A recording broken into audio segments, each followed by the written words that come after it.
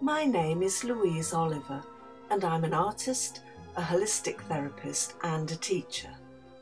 I painted this picture, The Source of the River, in 2005 when I had just completed my training as a past life therapist with the Academy of Spiritual Sciences.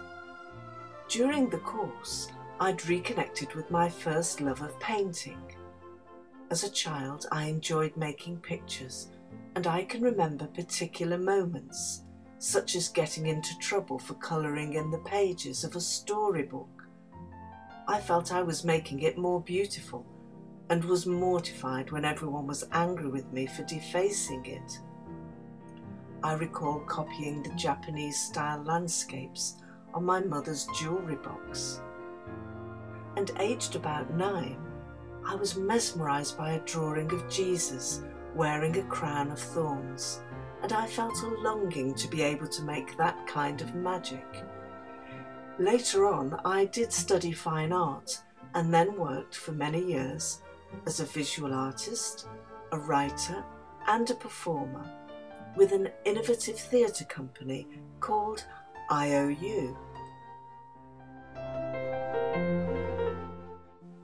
While studying metaphysics and learning about the journey of the soul, I was called back to start painting again. When I made the source of the river, I had a fascination with the gesture of the woman's arm raised above the head. It led to a whole series of images, which I saw as being to do with creative flow and with a connection between the divine and the human world.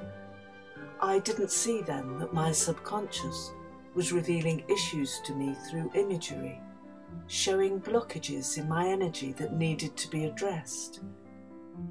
It was eight years later that I found myself with a life threatening illness and undergoing a major operation to remove a massive tumour from my chest cavity, the size of a melon. I was diagnosed with a giant, malignant, solitary, fibrous tumour of the pleura this is a rare condition, and the tumour had collapsed my right lung and displaced my heart, as well as other internal organs. In 2013, as I awaited surgery, I was finding it very difficult to breathe or to move about. It was a scary place to be, and I had been brought here by years of grief, anxiety, and stress. My eldest son had been suffering with severe mental health problems, and it had been distressing to witness his disintegration, whilst also looking after our youngest son. I remember the surgeon saying, I'll cut right around the rib cage and open you up like a basket. It will be like delivering a baby. And at three and a half kilos, the tumour really was the weight of a newborn baby. I came to see that in my unresolved grief and loss, I had created a kind of replacement child within my body.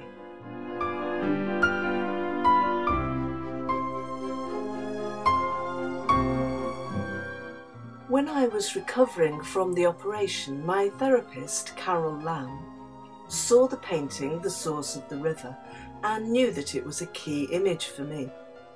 Carol recognised that the position of the arm was linked to past life memory. Later, I found out that when I was on the operating table, I had been laying on my left side with my right arm raised above my head. So Carol led me in a soul recall therapy, and I connected to a life when I had been a flamenco dancer and very highly regarded. I felt the dancer begin by raising her right arm, reaching up and connecting to the light, drawing it into her body. I could feel the electric atmosphere, her love of the dance, and her dedication to it. I was aware of her innovative approach and the acclaim she was receiving. For a time, I stepped into her shoes. Then the story unfolded of a tragic love triangle. The woman's husband was insanely jealous of her relationship with the guitarist, who was his brother. He accused them of having an affair, and the family was torn apart. The woman was ostracized and went into exile. She was stopped in her tracks. I saw that my sons in this current lifetime were the two brothers from that previous life, and that we were tied in a karmic knot. These memories of disconnection had been brought back into this lifetime for healing, and my soul was searching for opportunities to restore the broken rhythm. My subconscious had been communicating with me through imagery, although it was only with hindsight that I began to appreciate the message. When I painted the source of the river, I didn't know about the dancer or that when she raised her arm in the air, she was drawing light into her body. I was just compelled to make pictures that repeated this gesture. Sometimes there was water cascading or petals showering down. Later, I remembered that it had started when I saw an Indian painting of a woman fixing a rose into her hair.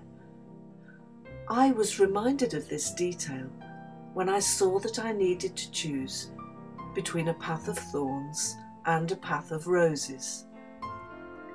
This is the subject of part two of Restoring the Flow, where I'll be looking at the collage picture I made called Among Thorns.